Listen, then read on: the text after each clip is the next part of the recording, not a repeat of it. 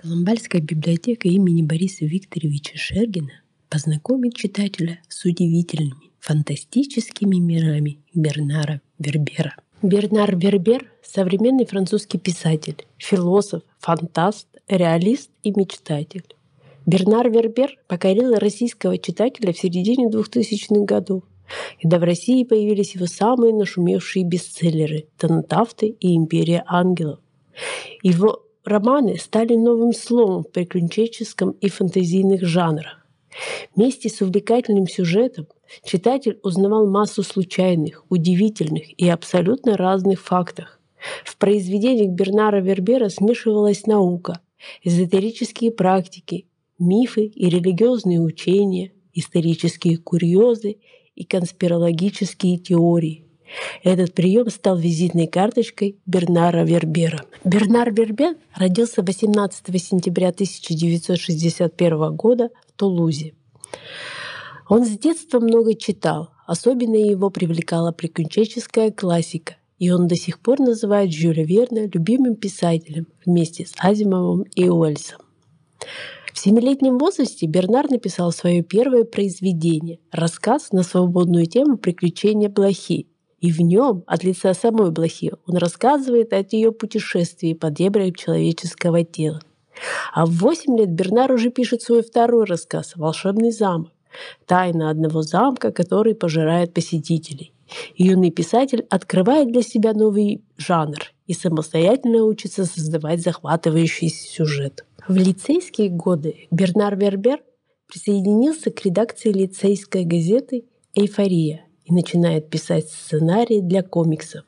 И благодаря этому он обнаружил для себя новые литературные жанры – американскую научную фантастику 60-х годов и фантастику барокко прошлого века. В 1978 году Бернар Вербер, окончив лицей, поступает в Тулузский университет, где планирует изучать право. И в этом же году он начинает писать свой роман «Муравьи», Идеей было продолжить семистраничный сценарий для комикса. Оценив возможности сюжета, писатель задумал создать настоящий роман. Но учеба в университете изначально не сложилась, и уже в 1982 году Бернар Вербер бросает право и переезжает в Париж, чтобы заниматься там журналистикой. А в творчестве он открывает для себя Филиппа Дика, который одним махом затмил все его прежние литературные эталоны. И при этом Вербер продолжает трудиться над своей рукописью «Муравьи». К этому времени он уже 18 раз переписывал этот роман. И уже следующие 7 лет Бернар без особого успеха работает во французской еженедельной новостной и политическом журнале «Обозреватель». Пишет статьи на научные и околонаучные темы о космосе, медицине, искусственном интеллекте, социологии. Но после столкновения с руководством он был уволен. Неудача очень ранит его, и, пользуясь временем затишьем, он поступает на курсы сценаристов.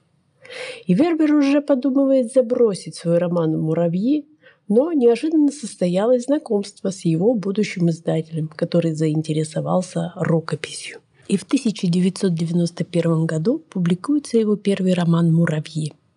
На написание этого романа Вербер потратил 12 лет – но, по его словам, эти годы ушли на обучение ремеслу более тонкому, состоящему из изобретения персонажей и ситуаций, выискиванию оригинальных мизансцен и режиссуре драматического напряжения. Действие романа «Муравьи» разворачивается вокруг двух цивилизаций — цивилизации людей и муравьев. Цивилизация муравьев — это многомиллионный город, который занимает на поверхности Земли всего 2 квадратных метра его жильцы – самые трудолюбивые существа в мире. Их умение подчиняться правилам – мечта любого диктатора. Их интеллекту можно только позавидовать. Они – муравьи, и они живут среди нас. Или это мы живем среди них? И чья цивилизация окажется жизнеспособной? Об этом рассказывает в своем романе Бернар Вербер. Вопреки ожиданиям автора, книга не привлекла к себе особого внимания. Критики не оценили задумок Вербера. Несмотря на то, что критики никак не отметили его дебют, Вербер продолжает пытаться достучаться до критиков, излагая свои идеи устами и поступками муравью. Как сказал сам Вербер, критики не знают, к какой категории меня отнести. Литература, которой я занимаюсь, просто им не знакома. И Вербер продолжает писать и выпускает целую трилогию о муравьях. Вторая часть цикла «День муравья» получила приз читательниц Эль. А в 1995 году выходит роман, который завершает трилогию о муравьях «Революция муравьев». Трилогия о муравьях принесла Верберу известность. В романе проявляются его фирменные сочетания научных фактов и творческого вымысла.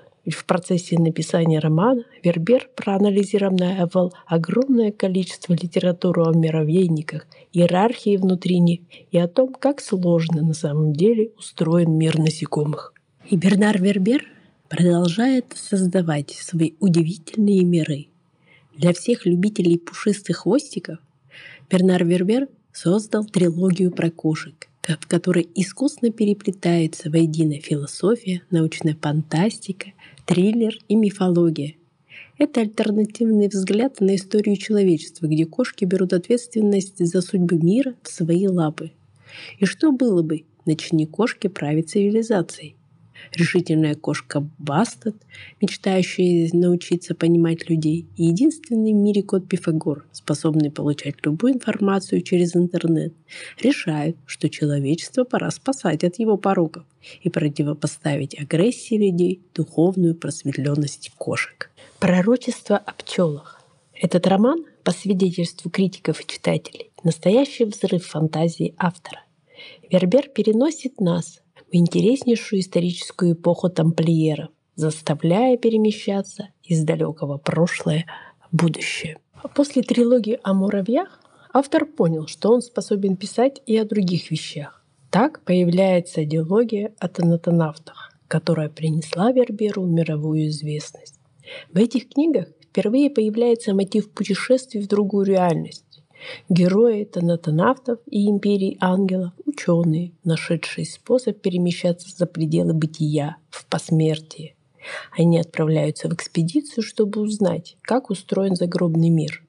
На основе своих научных и околонаучных изысканий Вербер выстроил целый мир и описал рай, каким он мог бы выглядеть.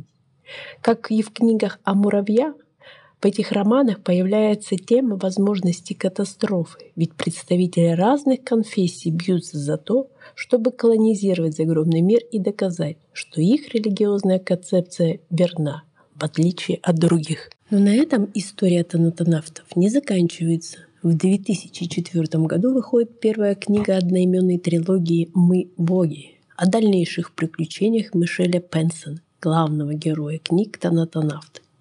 Только на этот раз героям предстоит исследовать мир богов. В 2005 году уже выходит вторая книга трилогии «Дыхание богов» и третья «Тайна богов», которая уже открывает занавес тайны и дает ответ на поставленный вопрос «А что же такое быть богом?» Бернар Бербер продолжает создавать свои удивительные миры, Цикл «Третье человечество» — это научно-фантастическая сага, рассказывает о появлении нового поколения людей. Эти романы отличаются глубокой социальной проблематикой, скрытой в фантастическом сюжете. На Земле появляется новый вид человека — микролюди. Их не принимают обычные жители планеты, и они вынуждены бороться за право на существование. А в завершающей книге цикла «Третье человечество. Голод Земли» главным героем уже становится сама наша планета, очеловеченный образ Земли. Земля решает восстать против своих же жителей, людей и микролюдей, которые находятся на пороге Третьей мировой войны. И прислушаются ли люди к Земле, которая наконец-то подала свой голос. Человечеству предстоит принять непростое решение и узнать, что думает о людях их родная планета. Бернар Вербер создает для читателей в своих книгах не только удивительные миры, где главными героями становятся люди, микролюди, животные. Он пишет книги, где главными героями становятся и сами читатели, и оживают книги. Книга путешествий – книга живая. Эта книга обращается к читателю. По замыслу автора главный герой – это сам читатель, а книга должна функционировать словно зеркало, в котором каждый человек способен видеть свои собственные воспоминания, вкусы, страхи, надежды и истоки. Для создания живой книги Вербер изучал процессы психоанализа и самогипноза. К 2002 году книги Бернара Вербера уже не один раз занимают верхнее место в списке бестселлеров. Автор становится популярным во всем мире. И уже неоднократно Бернар Вербер побывал в Москве в рамках Московской международной книжной выставки ярмарки, чем очень радует своих поклонников, которые с нетерпением ждут его новые книги. И каждая книга Бернара Вербера – это попытка расширить читательские горизонты, задать важные вопросы о судьбах человечества и попробовать ответить на них самым нетривиальным способом.